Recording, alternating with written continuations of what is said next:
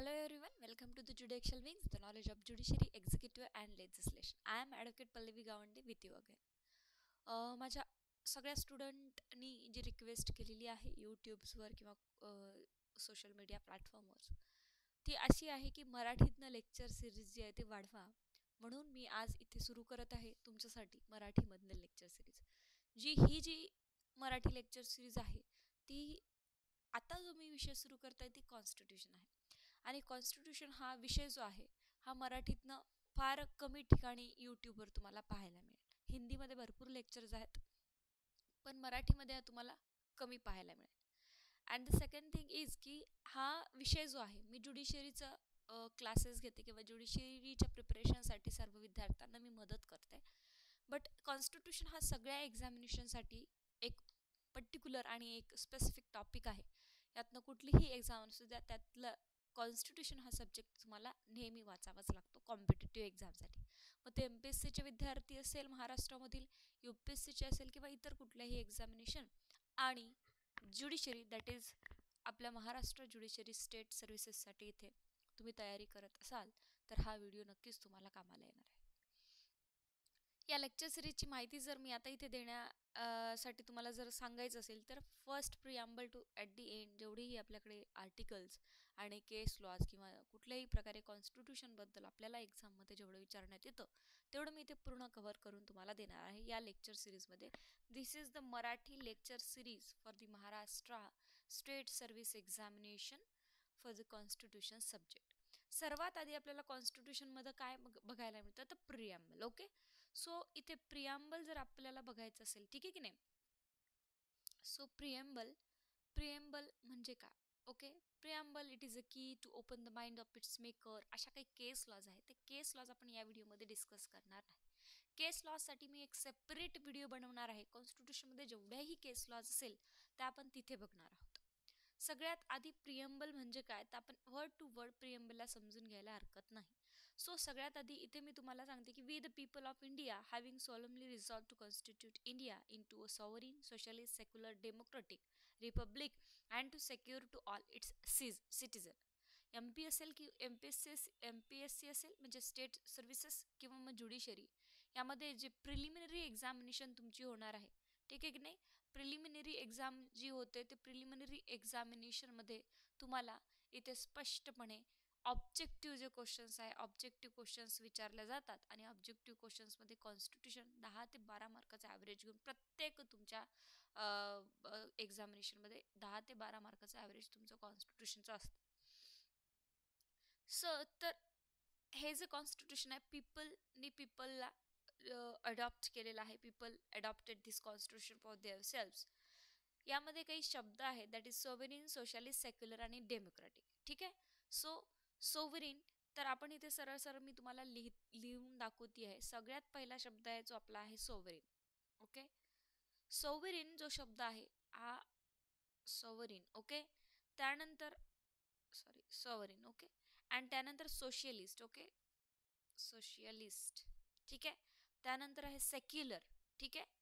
Secular. आणि पुढे आहे डेमोक्रेटिक. या सर्व प्रश्नावर या सर्व प्रश्नांवर जो सर सर्वात आधी जो प्रश्न तुम्हाला विचारण्यात येतो प्रियम्बलमधल्या प्रश्नांची लिस्ट घेऊया. तर हा एक प्रश्न. पहिला क्वेश्चन तुमचा जे एम एफ सी किंवा एम पी एस सी एक्झाममध्ये विचारण्यात येऊ शकतो. दॅट इज लिस्ट जी आहे ही सोवरिन सोशलिस्ट सेक्युलर डेमोक्रेटिक यांना क्रमाने लावा. ठीक आहे की नाही?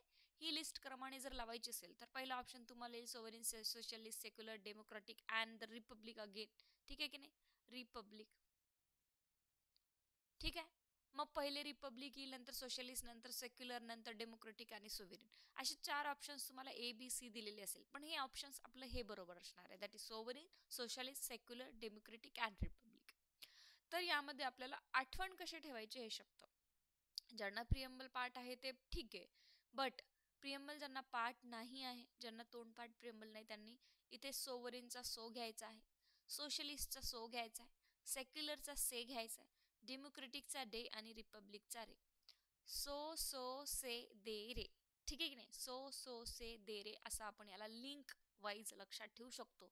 आणि याला क्रमाने लावा असा जर क्वेश्चन जेव्हा एम पी एस सी किंवा judiciary U P S C परीक्षेमध्ये येणार आहे प्रिलिम्सरी एक्झामिनेशनमध्ये तर तुम्हाला कळेल की ही लिंक जी आहे ही ही जी लिस्ट आणि ही this is the way this is the correct way okay the all this word mention in the preamble. Okay so so so say they ray sovereign socialist secular democratic and republic.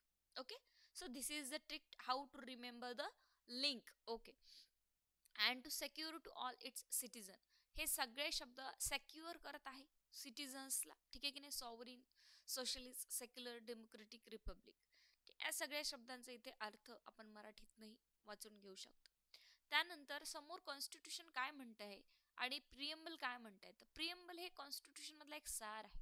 की exactly पुढे कॉन्स्टिट्यूशनमध्ये आपल्याला काय दिलेलं आहे त्याबद्दल ही एक झलक आहे जे की आपल्याला इथे पाहायला मिळणार आहे. ठीक आहे? तर मग आपण पुढे जाऊया. काही शब्द घेऊया कॉन्स्टिट्यूशनमधले आणि या शब्दांचा प्रॉपरली मिनिंग काय आहे कॉन्स्टिट्यूशनमध्ये जे की प्रियम्बलमध्ये दिले.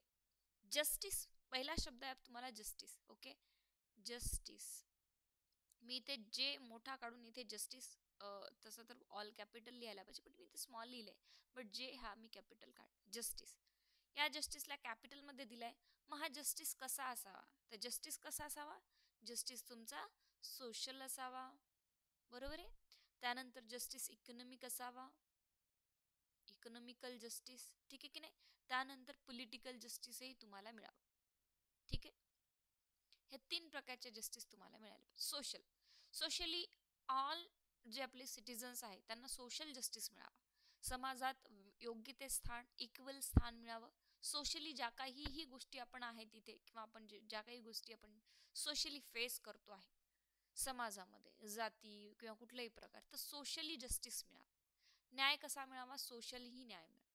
न्याय कसा मिळावा? तर इकॉनॉमिक न्याय मिळावा. इकॉनॉमिक न्यायासाठी काय करतो आपण? लाईक रिझर्वेशन पॉलिसीज आहे. ठीक आहे की नाही? इकॉनॉमिकली न्याय मिळावा. म्हणजे जे इक्वॅलिटी आहे सगळा फोकस आपला कॉन्स्टिट्यूशनचा आर्टिकल फोर्टीनवर असतो. की इक्वॅलिटीमध्ये कसं आपल्याला बॅलन्स करता येणार? इक्वॅलिटी मग सोशल जस्टिस द्या. इकॉनॉमिकल जस्टिस द्या. न्याय दालन आहे एवढं मोठं तर जस्टिस कशा प्रकारे तुम्ही प्रदान करताय? कुठल्या प्रकारे जस्टिस तुम्हाला मिळायला पाहिजे? तर सोशली तुम्हाला जस्टिस मिळालं पाहिजे. समाजात तुम्हाला न्याय मिळाला पाहिजे. इकॉनॉमिकली जस्टिस लाईक कोणी राशन खरेदी करत आहे तर त्याला ते स्वस्त मिळावं. कारण इकॉनॉमिकली त्याला एका लेवलमध्ये आपल्याला ठेवायचं रिझर्वेशन द्यावं रिझर्वेशन्स पॉलिसीज कशासाठी? आपल्याकडे इक्वेलिटी आणण्यासाठी. म्हणजे इकॉनॉमिकली रिझर्वेशन रिझर्वेशन द्यावं. जसं की आपण एम पी सीचे फॉर्म भरतो त्यामध्ये काय असतं? कोणाला फीज कमी कोणाला जास्त as per their cost caste wise ते इकॉनॉमिकली रिझर्वेशन देऊन इक्वॅलिटीला प्रमोट करावं. पॉलिटिकली पॉलिटिकली सुद्धा इथे जस्टिस तुम्हाला मिळाला पाहिजे. लाईक कुठल्याही बाबतीत इक्विलिटी इथे तुम्हाला अत्यंत गरजेचं सो जस्टिस नेहमी सोशल इकॉनॉमिक आणि पॉलिटिकल असा. अशा प्रकारचा जर प्रश्न तुम्हाला आला एम पी एस सी किंवा यू पी एस सी किंवा कुठल्याही परीक्षेत की जस्टिस कसा असावा? तर जस्टिस कसा असावा?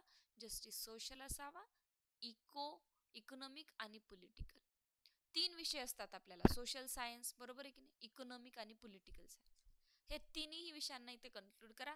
जस्टिसवर तुम्हाला लक्षात राहील की जस्टिस सोशल इकॉनॉमिक आणि पॉलिटिकल मिळायला पाहिजे. ठीक आहे की नाही? हे तीन ऑप्शन्स तुमच्या प्रश्नातले करेक्ट असणार आहे. लिबर्टी कशाची असावी? ठीक आहे की नाही? इथे अगेन इथे कॅपिटलमध्ये लिहिलं आहे पण मी इथे स्मॉलमध्ये लिहिलेलं आहे. लिबर्टी ऑफ थॉट लिबर्टी तुमच्या विचारांची तुम्हाला मिळावी. ठीक आहे की नाही? लिबर्टी ऑफ थॉट मिळावी.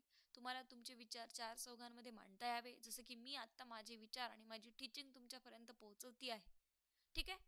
लाईक मला एखादा मोर्चा काढायचा आहे लाईक मला एखादं भाषण करायचं आहे माझे काही विचार आहेत ते मी लोकांपर्यंत पोहोचू द्यावे.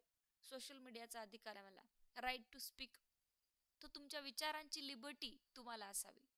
तुम्ही विचार करत आहेत विचार प्रपोगेट करत आहे प्रमोट करत आहे. Okay so this types of thought means a liberty to thought तुम्हाला लिबर्टी ही थॉटची असावी. विचारांची विचार विनिमय करण्याची तुम्हाला लिबर्टी इथे मिळाली पाहिजे. स्वतंत्र कसं मिळालं? That is the liberty of thought liberty of thought and expression express कुठल्याही गोष्टींना एक्सप्रेस करण्याची एक्सप्रेशनची लिबर्टी तुम्हाला इथे अत्यंत गरजेची कुठल्याही प्रकाराचं फिजिकल एक्सपिरियन्स ठीक आहे? इंटेलेक्च्युअल एक्सपिरियन्सेस असो एक्सप्रेशन्स असो कुठल्याही प्रकारचे एक्सप्रेस करणे कुठल्याही गोष्टी एक्सप्रेस करतो ओके सो एक्सप्रेशनची तुम्हाला इथे लिबर्टी मिळावी according to the liberty of thought expressions article nineteen ठीक आहे? त्यानंतर बिलीफ ठीक आहे की नाही? बिलीफची तुम्हाला इथे लिबर्टी मिळणं अत्यंत गरजेचं आहे. And faith and worship faith ठीक आहे आणि वर्शिप ह्या सगळ्या गोष्टी आपण करू शकतो. आपल्या धर्म देवाची पूजा आपण करू शकतो. बिलीफ करू शकतो. फेथ करू शकतो. वर्शिप टू अवर गॉड प्रत्येक व्यक्तीला या स्वतंत्र मिळावं लिबर्टी मिळावी त्यांचे विचार expression belief faith and worship परत हे तुम्हाला एक दोन तीन चार पाच. पंचतत्व ज्याला म्हणतो आपण तर लिबर्टी आपल्याला पंचतत्वांची हवी. That is thought expression belief faith and worship हे तुम्हाला पाठ असलं पाहिजे एक्झामिनेशन ठीक आहे? कारण प्रिलिम्स एक्झामिनेशनमध्ये हा प्रश्न विचारण्यात येऊ शकतो. त्यानंतर equality of status and opportunity equality तुमची कशी असावी? इक्विलिटी ऑफ स्टेटसची इक्विलिटी तुम्हाला मिळावी. ठीक आहे की नाही? त्यानंतर and opportunity status and of opportunity प्रत्येक क्षेत्रामध्ये तुम्हाला अपॉर्च्युनिटी मिळणं गरजेचं आहे. दॅट इज अपॉर्च्युनिटी स्टेटस माझं एका सोसायटीमध्ये काय स्टेटस आहे? इक्वल स्टेटस असावं. कुठल्याही जाती धर्माच्या गरीब श्रीमंत आहात तुम्ही. बट वोटिंगला जाताना इक्वल स्टेटस आहे. सगळ्यांसाठी हॉस्पिटल्स एक आहेत. सगळ्यांसाठी बस स्टॉप एक आहेत. सगळ्यांसाठी कुठल्याही प्रकारे पाणी महानगरपालिकेचं सगळ्यांना येतं. जाती धर्म किंवा गरीब श्रीमंताच्या घरी जात नाही. सो या स्टेटसमध्ये कुठल्याही प्रकारे तुमच्याकडे इक्वेलिटी मेंटेन करा. This is the preamble preamble तुम्हाला शब्द देऊन सांगते की पुढे कॉन्स्टिट्यूशनमध्ये काय आहे. कॉन्स्टिट्यूशन काय करते? इक्वेलिटीला प्रमोट करतं. अपॉर्च्युनिटी प्रत्येकांना सारखी अपॉर्च्युनि अपॉर्च्युनिटी मिळावी. इकॉनॉमिकली सोशली स्टेटसची जॉब्सची सगळ्यांना सगळ्यांना आपण सगळेजण फॉर्म भरू शकतो. भरू शकतो की नाही? प्र परीक्षेचा. सो अपॉर्च्युनिटी मिळणे ते अत्यंत गरजेचं आहे प्रत्येक प्रकारांमध्ये and to promote among them all आणि या सगळ्या गोष्टींना प्रमोट करते कॉन्स्टिट्यूशन ठीक आहे? सो त्यानंतर fraternity assuring the dignity of the individual and unity and integrity of the nation fraternity भाईचारा तुम्ही मेंटेन करणं गरजेचं आहे इथे. ठीक आहे की नाही? So fraternity of course important here ठीक आहे की नाही? So fraternity of course important here so fraternity is also assuring the dignity of the individual प्रत्येकाची डिग्निटी इथे महत्त्वाची आहे. डिग्निटी मेंटेन करायला शिका भाईचारा मेंटेन करायला शिका. Unity and integrity of the nation unity uniqueness integrity काय करा? प्रमोट करा. ठीक आहे की नाही? इंडिव्हिज्युअल इंटिग्रिटी नेशनची आपल्या देशाची युनिकता ठीक आहे की नाही? सर्व धर्म समभाव ज्याला म्हणतो आपण. ठीक आहे की नाही? सो अशा प्रकारे इथे assuring the dignity of the individual and unity and integrity of the nations definitely तुम्हाला इथे काय करणं गरजेचं आहे? प्रमोट करणं एन्युटी मेंटेन करणं इंटिग्रिटी मेंटेन करणं फ्रेटर्निटी मेंटेन करणं हे आपले कर्तव्य so this is the constitution okay sorry this is the preamble of the constitution त्यानंतर समोर येऊया आपण एक डेट कॉन्स्टिट्यूशनच्या प्रिएम्बलमधून नेहमी विचारली जाते. In our Constituent Assembly, this 26th day of November 1949, do hereby adopt, enact and give to ourselves this Constitution. ही date जी आहे people adopted this constitution for the people लक्षात ठेवा ठीक आहे? आणि ही जी डेट आहे इन अवर कॉन्स्टिट्यूशन असेंब्ली असेंब्लीमध्ये twenty six November twenty six November ही डेट तुम्ही नेहमी पाठ ठेवायची आहे. ठीक आहे? नाईन्टीन फोर्टी नाईनला आपण इथे प्रिएम्बल कॉन्स्टिट्यूशनमध्ये मेन्शन केलेलं आहे किंवा प्रस्थान केलेलं आहे कॉन्स्टिट्यूशनमध्ये ठीक आहे की नाही? नाईन्टीन फोर्टी नाईन ठीक आहे? नाईन्टीन फोर्टी नाईनमध्ये आपण कॉन्स्टिट्यूशनला इथे ब इथे कॉन्स्टिट्यूशनमध्ये जागा दिलेली आहे आणि people adopted this constitution for the people okay hereby adopt कोणी अडॉप्ट केलं आहे? पीपलनी for पीपलसाठी so this is our Indian constitution okay काही शब्द आहे याच्यामध्ये जे की सोवरेन डेमोक्रेटिक रिपब्लिक ओके हे इथे जे काही शब्द आहे forty second amendment forty second amendment जे आहे अमेंडमेंट जे आपण सेपरेट बघणार आहोत बट सध्या मी इतकं तुम्हाला सांगू इच्छिते फर्स्ट व्हिडिओमध्ये की by the constitution forty second amendment एकोणीसशे शहात्तर. एकोणीसशे शहात्तर फोर्टी सेकंड अमेंडमेंटला आहे. शब्द आहेत काही ठीक आहे? सोवेरिन त्याच्यानंतर डेमोक्रेटिक ठीक आहे? आणि त्याच्यानंतर republic oh okay with the effect of एकोणीसशे सत्त्याहत्तरमध्ये हे ॲड करण्यात आलेले आहे. ठीक आहे की नाही? त्यानंतर दुसरं जे आहे यामध्ये union and its territory okay so second part जे याच्या केसलाच आपण नंतर बघणार आहोत. ठीक आहे सगळ्या. आता आपण येऊया union and its टेरिटरीवर. Part first. ठीक आहे पार्ट फर्स्ट आहे. त्यातच आपला भारत देश हा एक आहे.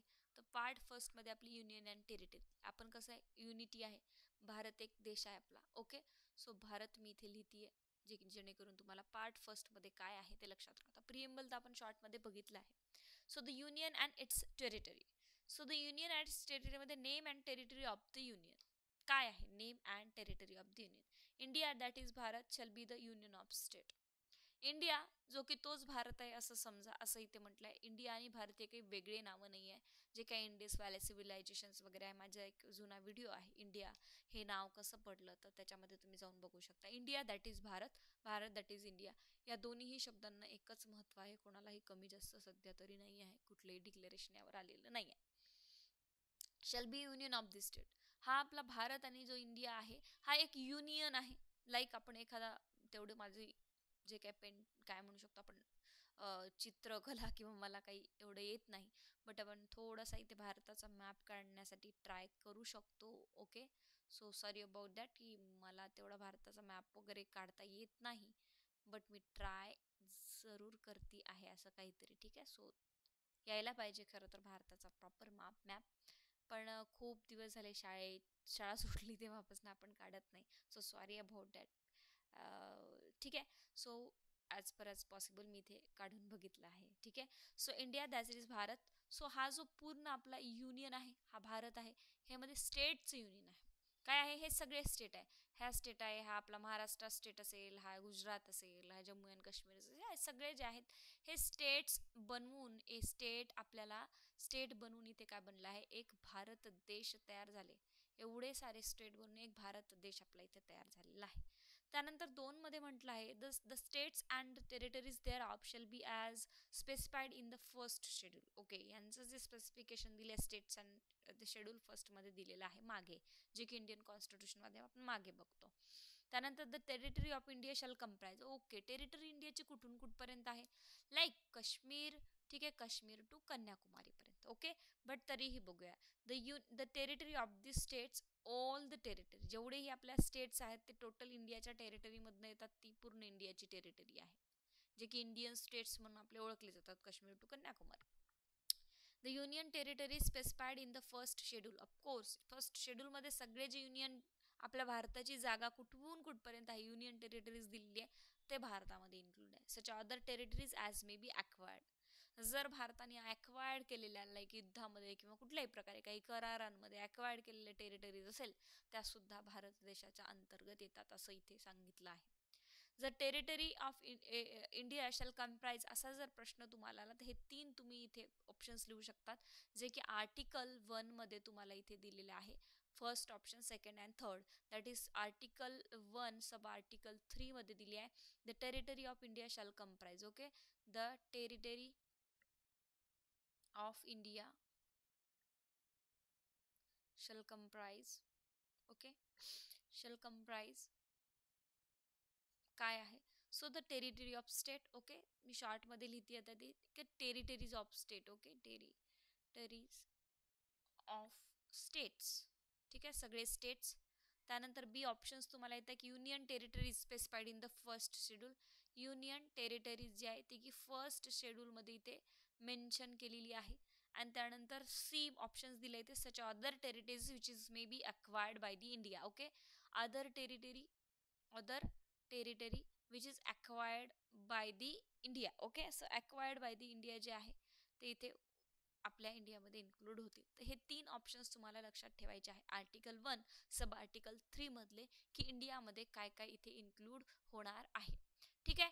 त्यानंतर आपण थोडंसं समोर जाऊया आता आणि समोर जाऊन बघूया आपण की ॲडमिनिस्ट admissions of a establishment of a new state आता आपल्याला इथे ॲक्च्युलीमध्ये दोन गोष्टी बघायच्या आहेत article two okay and article three okay article three मी इथे काढते आर्टिकल टूमध्ये म्हटलं admission or establishment of a new state admission and establishment of a new states parliament may by law admit into the union okay or establish a new state on such terms and condition as it thinks fit definitely इथे म्हटलंय parliament सगळ्यात आधी article दोन मध्ये इथे काय होतंय ते लक्षात घ्या. इथे ऍडमिशन्स होत आहेत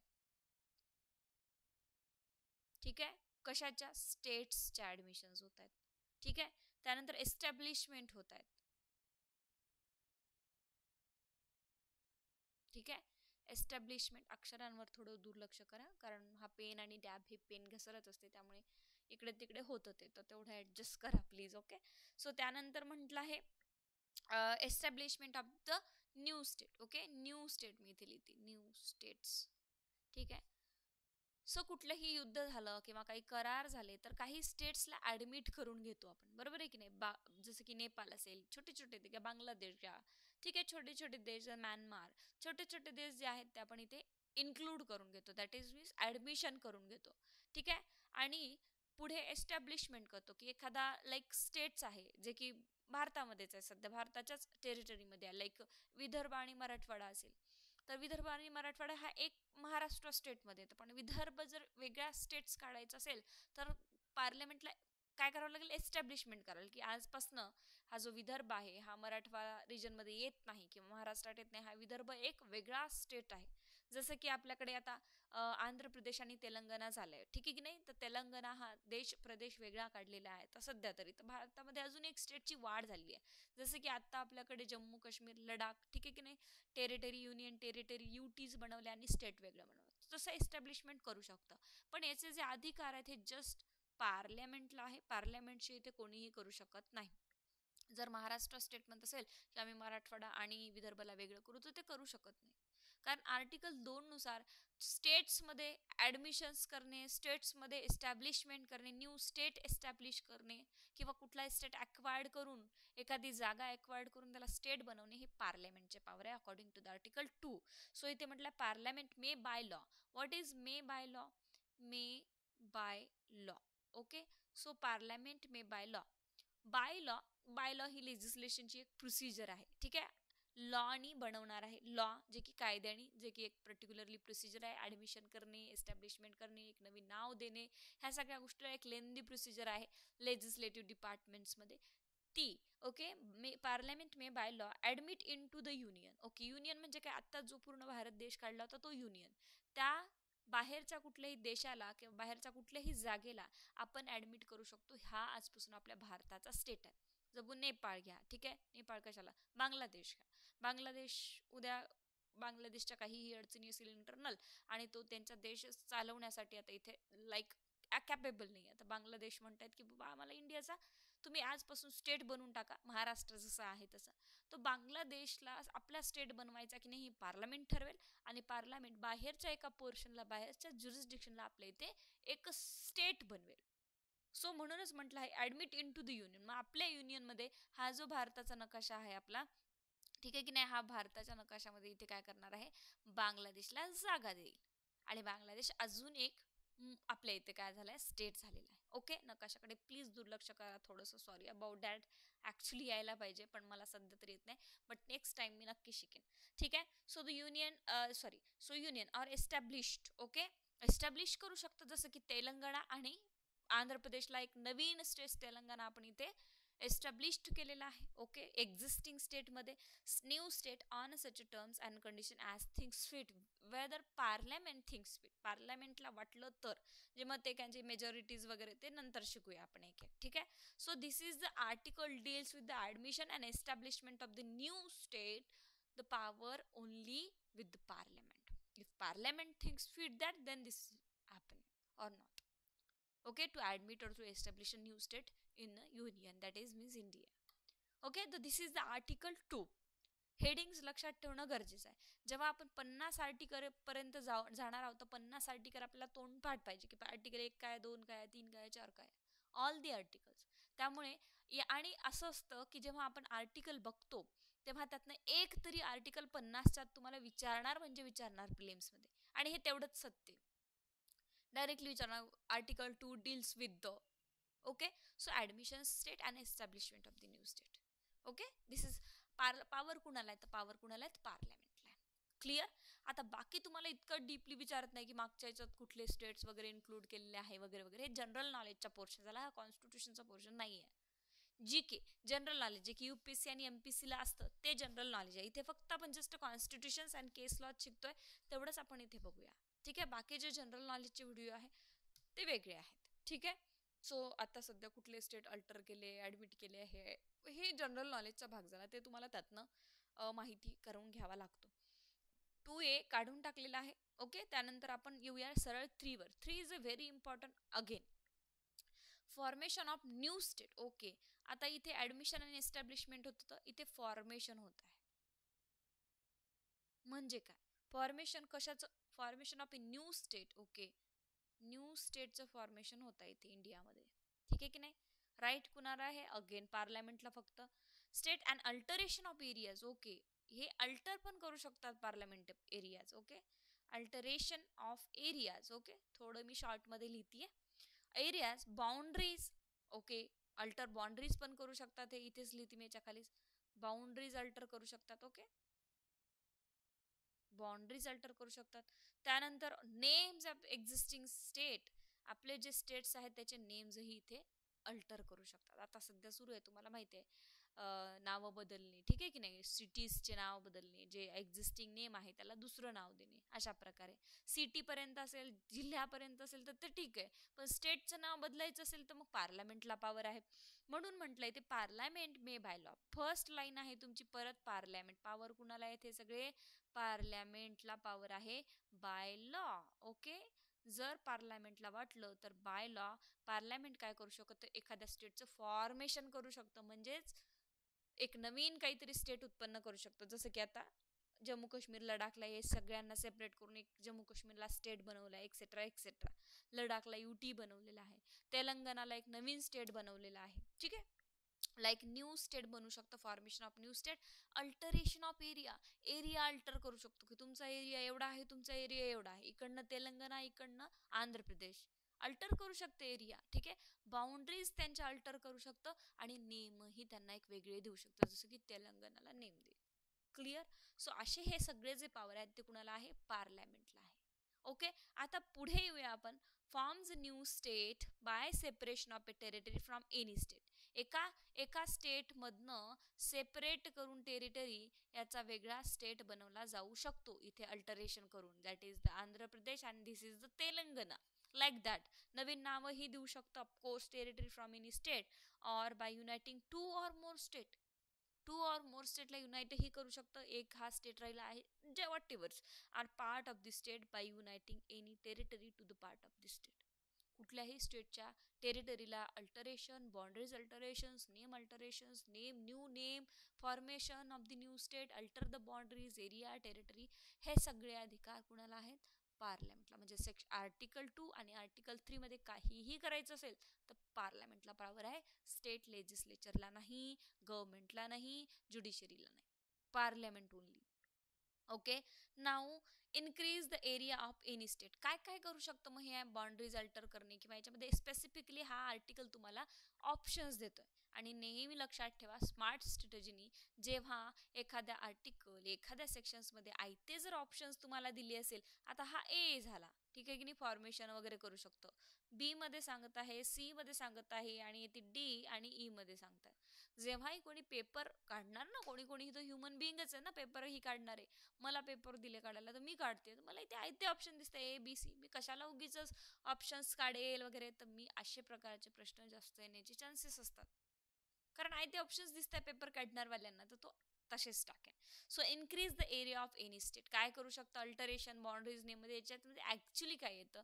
त्याच्यामध्ये पार्लमेंट इथे इन्क्रीज करू शकतं. काय इन्क्रीज करू शकतं? Area of the state area of any state okay so increase करू शकणार आहे डेफिनेटली सी मध्ये सांगत आहे diminish the area of the state okay एखाद्या स्टेटचा एरिया काढून दुसरीकडे टाकू शकतं. सो त्यामुळे डॅमिनिश कमी करू शकतं. ठीक आहे की नाही? Diminish द एरिया ठीक आहे? Area okay? Area of any state ठीक आहे? परत डी मध्ये सांगितलं alter the boundaries of any state. Alter करू शकतो बाउंड्रीज ओके? अल्टरेशन हे इथे जो शब्द दिलाय alter boundaries of states clear?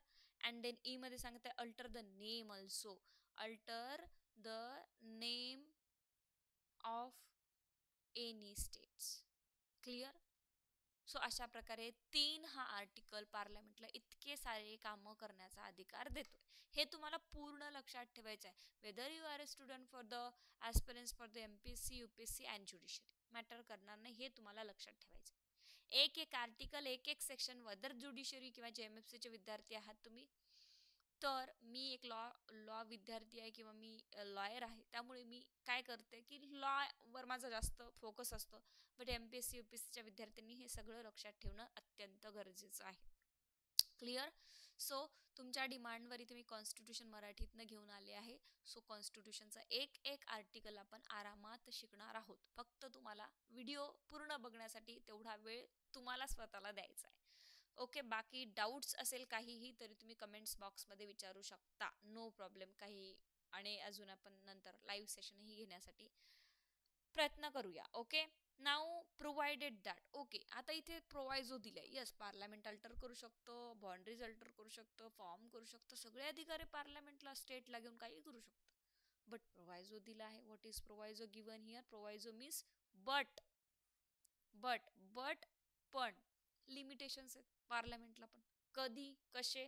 Provided that no bill for the purpose shall be introduced in a either house of the parliament आता parliament हे कसं करणार आहे? तर पार्लमेंटला बाय लॉ करावं लागतं. जे की पार्लमेंट मी बाय लॉ पहिली सेडिंग होती. कधीही लेक्चर सिरीजमध्ये बसताना यूट्यूबवर तुम्ही आपलं ज्या विषयाचं लेक्चर आहे करतोय आपण यूट्यूबवर त्याचं पुस्तक घेऊन बसायचं. इथेही तुम्ही बेअर ॲक्ट घेऊन बसायचं. ठीक आहे? खाली जो प्रोवायझो आहे बाय लॉ मीन्स पार्लमेंटची काय प्रोसिजर आहे? बिल पास होईल देन सगळ्या गोष्टी लेजिस्लेशन आहे of course okay two third special majority आहे का काय आहे काय नाही. या सगळ्या गोष्टी इथे करण्यात येणार आहे. बाय लॉ ते बिल पास होणार.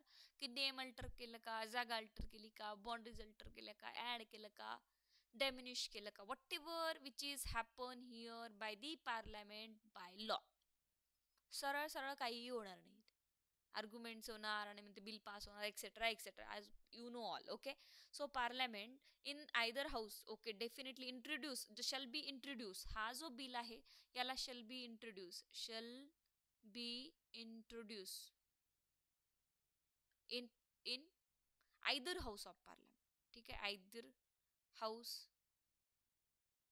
ऑफ पार्लमेंट म्हणजे काय? एका कुठल्या तरी हाऊसमध्ये हा बिल पास केला जाईल parliament except on the recommendation of the president and unless where the proposal contain in bill effect the area. Except on the recommendation okay? रिकमेंडेशनची गरज नाही इथे पार्लमेंटला प्रेसिडेंटला. Where the proposal contain in the bill affect the area boundaries of the name any of the states but इथे रिकमेंडेशनची गरज नव्हती पहिले ठीक आहे ओके? बट एखाद्या स्टेटची तसं तर परमिशनची गरज तर लागणारच आहे. नंतर तश त्या प्रकारचं रिकमेंडेशन नाही ओके बट इथे पुन्हा म्हटलंय where the proposal contain in the bill affect the area okay एखाद्या हा जो बिल आहे तुमचा एक्झॅक्टली हा बिल काय करतोय? एखाद्या एरियाला अफेक्ट करतो. एखाद्या स्टेटच्या आता स्टेटला बाउंड्रीज चेंज करतोय म्हटल्यावर स्टेटच्या एरियाला इथे अफेक्ट करत आहे. ओके अफेक्ट करत आहे. मग स्टेटच्या एरियाला अफेक्ट करत असेल तर बाउंड्रीजला अफेक्ट करत असेल नेमला अफेक्ट करत असेल टू द एनी स्टेट्स ठीक आहे की नाही? जसं महाराष्ट्र स्टेटमध्ये काही बदल करायचे आहेत त्यांना. महाराष्ट्र स्टेटच्या नावाचं बदल करायचं असेल तर त्या स्टेटला अफेक्ट करत आहे. कुठे ना कुठे हिस्ट्रीला किंवा कुठल्या कुठल्या कुठल्याही सिच्युएशनमध्ये अफेक्ट करत असेल the bill has been referred by the president to the legislation of the state मग इथे प्रेसिडेंट आणि लेजिस्लेशन पिक्चरमध्ये येणार. पार्लमेंट पार्लमेंटच्या मनाने काहीही करणार नाही आता असं जर बिल पारित करायचं असेल तर इथे प्रेसिडेंट साहेब काय करणार आहे? जर एखाद्या स्टेटला अफेक्ट करत आहे तर तर इथे प्रेसिडेंट साहेब सरळ सरळ ते बिल इथे लेजिस्लेचर ऑफ द स्टेट मला पाठवून देणार आहे. स्टेट लेजिस्लेचर म्हणजे कोण? आपलं Vidhan Sabha Vidhan Parishad. State legislature okay state लेजिस्लेचरला हे बिल पाठवण्यात येणार आहे. म्हणजे महाराष्ट्र स्टेटला आता हे बिल पाठवलं. कशासाठी? प्रेसिडेंटचं म्हणणं काय आहे? की इथे तुमच्या स्टेटमध्ये आम्हाला चेंजेस करायचे आहेत. आम्ही एक बिल पारित केलं. पण ते तुमच्या स्टेटला अफेक्ट करतंय. त्यावर तुमचं म्हणणं काय याचा अर्थ सरळ सरळ आहे की माझ्या घरात बदल करायचे. माझ्या गावचा सरपंच येऊन म्हणतो की त्यांच्या घरात बदल करा. अरे पण मला तर विचारा. मग महाराष्ट्रामध्ये बदल करायचे असलं महाराष्ट्र सरकारला विचारावं लागेल की नाही? ऑफकोर्स विचारावं लागेल.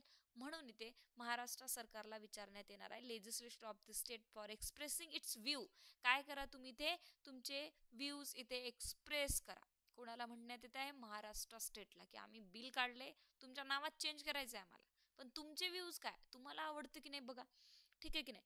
Thereon within such a period may be specified in their reference president of course इथे एक स्पेसिफिक पिरियड देणार आहे. एक महिना दोन महिना वाटेवर in the reference or within such a further period as the president's may allow किंवा मग दिलेल्या वेळात नाही झालं तर प्रेसिडेंट अजून थोडा वेळ जास्त वाढून देऊ शकतो तुम्हाला. May allow and the period so specified or allowed has expired okay so या पर्टिक्युलर पिरियडमध्ये इथे महाराष्ट्र स्टेटला सांगायचं आहे की आम्हाला हे प्रॉब्लेम आहे आम्हाला जमणार नाही. आम्हाला हे बिल पास होऊ द्यायचं नाही ठीक आहे? सो अशा प्रकारे जर अफेक्ट करत असेल एखाद्या स्टेटला पर्टिक्युलरली तरच इथे हे जे बिल आहे ते त्या पर्टिक्युलर स्टेटच्या संदर्भात असेल तर त्याला पाठवण्यात येईल. बट यू टीच्या संदर्भात असेल युनियन टेरिटरीच्यात यू टी ऑलरेडी कुठे काम करते अंतर्गत काम करते कुणाच्या? गव्हर्नमेंटच्या पार्लमेंटच्या तर यू टीला हे सांगण्याची गरज नाही. यू बद्दल that is the union union टेरिटरीबद्दल parliament कुठलेही प्रकारचे निर्णय घेऊ शकतात. त्यांच्या लेजिस्लेचर डिपार्टमेंटला यू टीच्या कुठल्याही प्रकारे तुम्हाला काय पाठवायची गरज नाही. पार्लमेंट प्रेसिडेंटला रिकमेंडेशनसाठी किंवा व्ह्यूसाठी इथे पाठवायची गरज नाही बिल. म्हणूनच केजरीवाल साहेब काय करतात की दिल्लीला युटी नाही स्टेट बनवा म्हणून त्यांच्या मागण्या असतात. कारण पार्लमेंट स्टेट काय आहे? एक लेजिस्लेचर आहे. स्टेट हे एक सेपरेट गव्हर्नमेंट आहे. ओके लेजिस्लेटिव्ह डिपार्टमेंट आहे त्यांच्याकडे. ते आपले आपले लॉ बनवू शकतात आपले आपले निर्णय घेऊ शकतात. पण यू टी बनवत नाही. यू टीला जर प्रे यू टी कोणाच्या अंतर्गत काम करतं पार्लमेंटच्या. त्यामुळे. नंतर इथे दोन एक्सप्लेशन दिलेले इथे की in the article in clauses A to E state includes union territory but in the proviso state does not include the union territory of course okay so इथे समोर तर इन्क्लूड आहे पण स्टेट खाली जो स्टेट म्हटलाय बिल पाठवण्याचं state तिथे युनियन टेरिटरी इन्क्लूड नाही. कारण गरजेचं नाही तिथे रिकमेंडेशनसाठी पाठवणं. एक्सप्लेनेशन सेकंडमध्ये म्हटलं म्हटलंय the power conferred on the parliament by clauses A include the power to forms a new state or union territories by uniting a part of the state or union territories to any other state or union territories okay this is not important so हा झाला आपला article three of the Indian constitution now आता आपण येऊया article four of the Indian constitution okay article four is quite important actually okay article फोरमध्ये काय म्हटलेलं आहे बघूया. नंतर मग आपल्याला सेकंड पार्टकडे जायचं सेकंड व्हिडिओमध्ये law mades under article two and three law जे बनवले आहे तुम्ही कुठे बनवले आहे? आर्टिकल टू आणि आर्टिकल थ्रीमध्ये कशाबद्दल बनवले स्टेटच्या संदर्भात. Alteration add admissions formation of the state कोण बनवले? पार्लमेंटने बनवले to provide for the amendment of the first and fourth schedule इथे प्रोव्हाइड्स करण्यात येणार आहे अमेंडमेंट्स जे काही ही लॉ इथे बनणार आहेत ते फोर्थ आणि फर्स्ट शेड्यूलमध्ये जाणार तुमचे. आणि तिथे अमेंडमेंट बनणार एखाद्या एखादा पर्टिक्युलर काही काढलंय पार्लमेंटने बिल काढलं ते पास केलं तर ते बिल एक अमेंडमेंट बनतं आणि शेड्यूल्समध्ये टाकण्यात येतं. Okay sir fourth schedule and supplemental incidental and consequential matter कुठल्याही प्रकारे त्याबद्दलच्या सप सप्लिमेंटल इन्सिडेंटल कॉन्सिक्वेन्शियल मॅटर्सवर तुम्ही इथे बिल पास केलेले असेल तर त्यावर ते लॉ बनणार आणि अमेंडमेंट्स बनणार. एक ॲक्ट छोटा बनत असतो प्रत्येक वेळेस जेव्हा अमेंडमेंट होते. लाईक फोर्टी सेकंड अमेंडमेंट एकोणीसशे शहात्तर. तर हा एक ॲक्ट आहे छोटा. This is mini constitution like तर यामध्ये ॲक्ट बनतात आणि ते शेड्यूल्समध्ये टाकले जातात. Any law referred to in Article 2, 3 shall contain such a provision for the amendment of the first schedule and the fourth schedule as may be necessary to give effect to the provision of this law and may also contain such a supplemental, incidental, consequential procedure. ठीक आहे वाचत नाही मी सध्या तरी कारण this is not so important for the examination no such law as aforesaid shall deemed to be amendment of this constitution for the purpose of article three sixty eight article three sixty eight आपल्याला specially बघावं लागणार आहे त्यामुळे त्याला मी इथे या व्हिडिओमध्ये continue करणार नाही. तर तुम्हाला आज मी प्रियंबल शिकवलं आहे. तर प्रियंबलमध्ये तुम्हाला ती डेट एक महत्त्वाची आहे. त्यानंतर सो सो से देरे आणि जे काही जस्टिस सोशल इक्वल हे जे शब्द शिकवले आहे. Fraternity equality liberty इक्वे equality justice हे कसे असावे हे तुम्हाला अत्यंत गरजेचं आहे. त्यानंतर फर्स्ट पार्ट जो आहे तो फर्स्ट पार्टमध्ये आपल्याला शिकायचं आहे फक्त की आर्टिकल दोन आणि आर्टिकल तीन हे काय आहे? कुणाला पॉवर आहे? तर पार्लमेंटला पॉवर आहे. अँड देन इथे आपल्याला फॉर्मेशन्स आणि करू शकतात. Increase diminish alter the name and bound boundaries इथे करू शकतात. आणि जेव्हा स्टेटला इफेक्ट करत असेल तर प्रेसिडेंटला डेफिनेटली स्टेटचे व्ह्यूज काय आहे हे एक्सप्रेस करण्यासाठी स्टेटला ते मॅटर पाठवणं गरजेचं आहे. सो आजचा जो व्हिडिओ आहे आपला आपण इथेच थांबूया. आणि नेक्स्ट व्हिडिओमध्ये आपण citizenship that is the part two हा बघणार आहोत okay? So thank you so much friends. असेच आपण एक एक व्हिडिओज जे आहेत ते पर्टिक्युलरली पूर्ण कॉन्स्टिट्यूशन प्रॉपरली बघण्याचा लवकरात लवकर प्रयत्न करूया. सो आता जे एम एफ सीची जी एक्झाम आहे ती एकोणीस मार्चला आहे. त्यासाठी ही कॉन्स्टिट्यूशन सिरीज मी इथे बनवत आहे. तो प्रॉपरली बघा आणि त्यानुसार अभ्यासाची तयारी लवकरात लवकर सुरू करा. Best of luck. थँक्यू